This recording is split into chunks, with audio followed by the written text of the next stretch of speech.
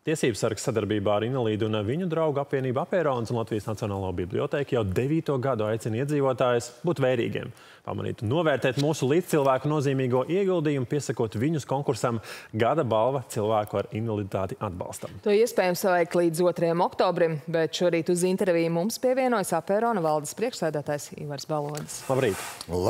Labrīt. Šobrīd tas mūsu iekšpolitiskais fons rāda, ka top jauna valdība, taps arī jauna valdības deklarācija, protams, soli līdz septembra vidum.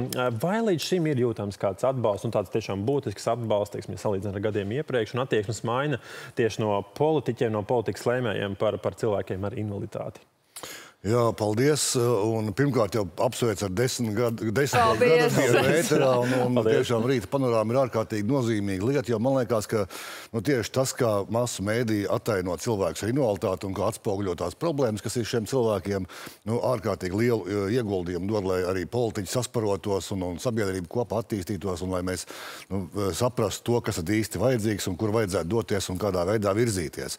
Par valdības deklarāciju, jā, protams, kad mēs sekojam līdzi, ļoti maz informācija gan pieejama ir, bet nu, tāpat laikā mēs esam visur teikuši to, ka katrai arī cilvēka invaliditāte politikai ir jābūt un ka politikai ir jābūt kaut kādam konkrētam mērķim.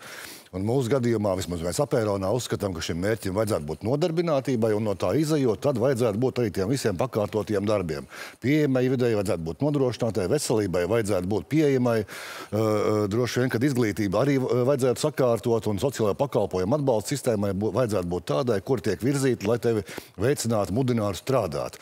Un tad jau savukārt tās atsevišķās programmas, tie, tie atsevišķie darbiņi mazie, kas katrā nozarē būtu paredzami, un tad tos vienkārši identificēt un saprast. Un mēs, nu, līdz galam tā nejūtam, bet uh, viens tāds liels ieguldījums, ko mēs jutām, bija pēc akcijas dod pieci, kad runājam par vidas piemības jautājumiem. Man liekas, ka tad tapa uh, dažādas darba grupas un, un, un uh, arī patreiz sagatavošanā ir liels darba plāns, nu, kur tās problēmas visas ir parādītas un, un it kā arī identificētie soļi, kas ir jādara, lai šīs problēmas atrisinātu. Arī pa sīkiem soļiem, piemēram, pieejama vēlēšana iecirkņi, piemēram, skolas, kurās, kurās skolēns jūtās labi un nevis, nevis tevi virza kaut kur pēc skolas, kaut ko atkal doties, un vecākam jācīnās par kaut kādiem pakalpojumiem, bet tie pakalpojumi nāk tev tuvāk.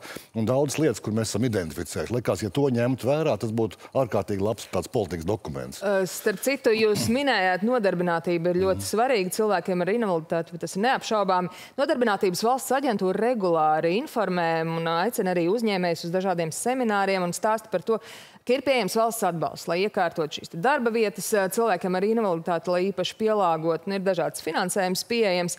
Vai jums ir informācija, cik vispār atsaucīgi ir uzņēmēji, cik šī programma ir veiksmīgi īstenota? Es domāju, ka viņi tiek īstenot, un droši vien, ka nu, nav tā, ka paliek naudas pāri un pēkšņi nezinu, kur likt, un neviens nepiesakās, un nav neviena cilvēka, ko integrēt vai iekļaut darba tirgu, bet mainās tie akcenti. Un mēs jau esam runājuši diezgan daudz par to, ka, piemēram, nu, ja cilvēku ratiņkrēslā vai cilvēku ar kādiem fiziskiem traucējumiem daudz vieglāk uztur arī darba devēju un, un ir sapratuši šo lietu, kādā veidā var organizēt šo darbu, tad, piemēram, cilvēkiem ar intelektuālās attīstības traucējumiem ļoti grūti atrast darbu, jo nu, mēs jau pa viņiem nezinām, kas viņi tādi ir un ko, ko, kādus darbus viņi varētu darīt. Un uh, nav arī tādas atsevišķas atbalsta programmas, kur šiem cilvēkiem iemācītu kādas pamatzināšanas, ko viņi varētu veikt un darīt. Un, un kā rezultātā no šī lieta pilnīgi izpaliek. Jā, mēs attīstamies, bet pa spirāli uz augšu un tās problem, problemātika savādāk parādās. Bet tam mērķim ir jābūt tai nodarbinātībai, manuprāt, mm. lai tiešām cilvēki varētu par sevi parūpēties un arī sev nodrošināt. Viens ir politiķi, uzņēmēji, politikas veidotāji. Kas ir ar sabiedrību, sabiedrības attieksmu un izpratnes maiņu? Mm. Uh, Nu jā, sabiedrības, eh, sabiedrība nu arī attīstās, un gribētu jau teikt, ka mēs attīstāmies pozitīvāk, un, un, un tā, eh, tā attieksme mainās, bet eh, nu, tās vairākas grupas, kur, kur, kur mēs, ja, ja nav tādas valsts atbalsta programmas par, kur, kur, vai kampaņas, kurās mēs stāstam par šiem cilvēkiem, par, par, par viņu attieksmi, par viņu dzīvi un par viņu iespējām kā tādām, tādas pozitīvas kampaņas. Nevis pirms lieldienām un Ziemassvētkiem, kur mēs vācam naudu un, un zināmā mērā uh, Zināmā mērā tās ir tādas vienīgās lielās kampaņas, kā rezultātā arī sabiedrība no tā mācās, bet tādas pozitīvas kampaņas, kur parāda, ka jā, mēs strādājam, mēs, mēs sasniedzam labus rezultātus ne tikai sportā ik pēc četriem gadiem, bet kur, kur paralimpiskie sportisti, man liekas, ka brīnišķīgi šo integrācijas procesu veids, bet, bet tādiem ikdienas darbiem, kā šie cilvēki dzīvo un jūtās. Un tad atkal vienkārši kā, kā nu, kā valsts reaģē un, un, un kā vidas pieejamība nodrošina, vai, vai skolas ir iekļaujošas. Atkal tās pašas problēmas vienkārši parādās no gada uz gadu, un, un kaut kā nu, reizēm liekas, ka ļoti, ļoti lēnām risinās. Bet sabiedrība kaut kur, man liekas, attīstās ātrāk, bet nu, tās, tās valsts atbalsta programmas vai valsts uh, lēmumi uh, nu, kaut kur drusku iepaliek. Jā, nu, tas, ka mums kā sabiedrībai joprojām ir, kur augt, apliecina dažādi gadījumi. Arī ne tik sen šis gadījums ar grupu māju, kas celtniecību un ārkārtīgi skaļajiem protestiem.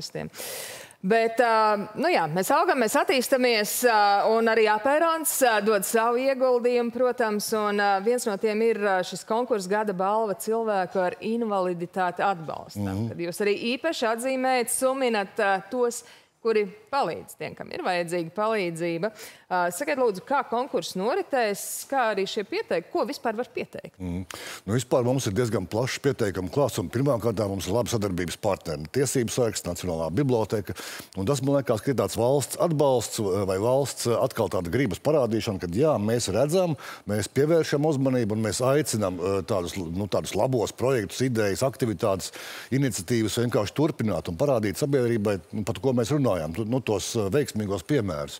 Un, eh, jā, no šodienas var pieteikt apēron un, un tiesības arī mājaslapās eh, šos, nu, šīs labās iniciatīvas dažādās nominācijās. Mums ir gan nominācijas, gan kur organizācijas kaut ko darījušas, ne tikai nevalstiskas organizācijas, bet tās varētu būt arī kādi uzņēmēji vai apvienības kādas, kuras kaut ko dara, lai, lai dažādās kategorijās ir uzdrīkstēšanās, nodarbinātība, gada palīgs, izglītība un vēl un vēl un vēl vairākas kategorijas, kurās šos eh, cilvēkus vai šos darbus vai šos uh, uzņēmumus var pieteikt. Ir gan uzņēmumiem šī, eh, šīs kategorijas, gan arī individuāli cilvēki, kas kaut ko darījuši, arī var atzīmēt teiksim, savus līdzbiedrus, kas, kur, kur paveikuši kādas nozīmīgas aktivitātes. Varat izcelt kādus trīs piemērus, kas iepriekšējos gados ir bijuši līderos?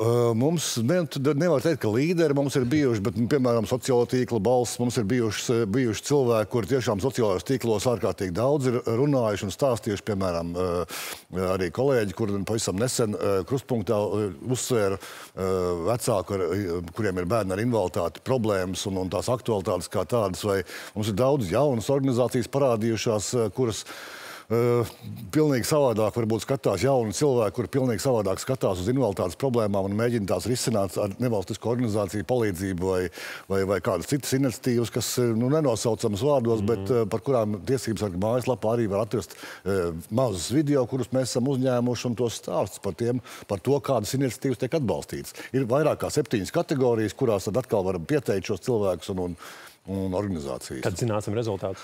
Rezultāti būs zināmi decembrī, un tāpēc, ka decembrī, 3. decembris ir starptautiskā cilvēka invaliditāte diena, kad visā pasaulē šo dienu atzīmē visdažādākajos veidos, un patreiz konkurss notiek no šīs dienas līdz oktobra sākumam.